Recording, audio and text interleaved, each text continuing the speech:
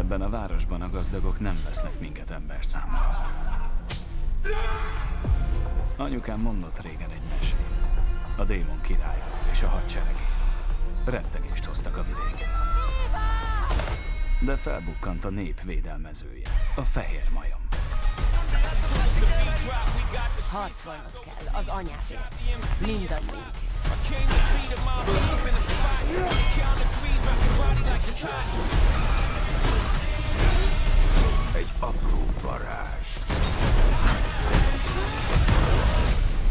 Porrá égethet mindent. Mágió. Készen álltok egy búnyóra!